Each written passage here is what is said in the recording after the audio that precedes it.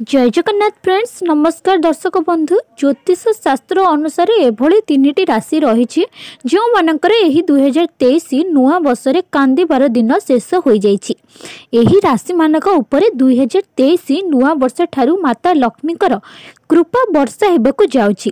ଏବଂ ଏମାନେ ଦୁନିଆର ସବୁଠୁ ଶକ୍ତିଶାଳୀ ରାଶି ହେବାକୁ ଯାଉଛନ୍ତି। ତେବେ ଆସନ୍ତୁ ଜାଣିବା ଏହି ରାଶି ଗୋଟିମାନଙ୍କ ବିଷୟରେ। ଭିଡ଼ିଓଟିକୁ ଆରମ୍ଭ କରିବା ଆଗରୁ ଅନୁରୋଧ ଆମ ଚ୍ୟାନେଲକୁ ନୂଆ କରି ଆସିଥିଲେ ଚ୍ୟାନେଲଟିକୁ ସର୍ବପ୍ରଥମେ ସବସ୍କ୍ରାଇବ୍ କରିନିଅନ୍ତୁ ଏହିଭଳି ରାଶିଫଳ ଅପଡ଼େଟ୍ ପାଇବା ପାଇଁ। ତେବେ ପ୍ରଥମ ରାଶିଟି ହେଉଛି ବୃଷ ରାଶି।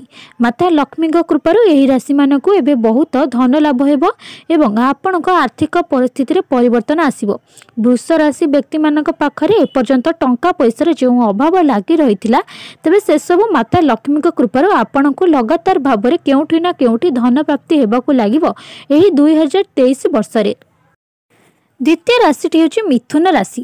ମାତା ଲକ୍ଷ୍ମୀଙ୍କ କୃପା ପୂର୍ବରୁ କରିଥିବା ଖରାପ କାର୍ଯ୍ୟଗୁଡ଼ିକର ନାଶ ହେବ ଏବଂ ଏବେଠାରୁ ଆପଣ ଯେତେ ସମାଜ ପାଇଁ ଭଲ କାର୍ଯ୍ୟ କରିବେ ସେତିକି ହିଁ ଆପଣଙ୍କୁ ଧନ ଲାଭ ମିଳିବ। ଆପଣଙ୍କ ଜୀବନରେ ଆସୁଥିବା ସମସ୍ୟାଗୁଡ଼ିକ ମାତା ଲକ୍ଷ୍ମୀଙ୍କ କୃପାରୁ ଶେଷ ହେବ। ଯେଉଁ ବ୍ୟକ୍ତିମାନେ ଏ ପର୍ଯ୍ୟନ୍ତ ବିବାହ କରିପାରୁନାହାନ୍ତି ଏବଂ ବିବାହର ନାନା ପ୍ରକାର ବାଧାବିଘ୍ନ ଆସୁଛି ସେମାନେ ବିବାହ ହେବାକୁ ଯାଉଛି।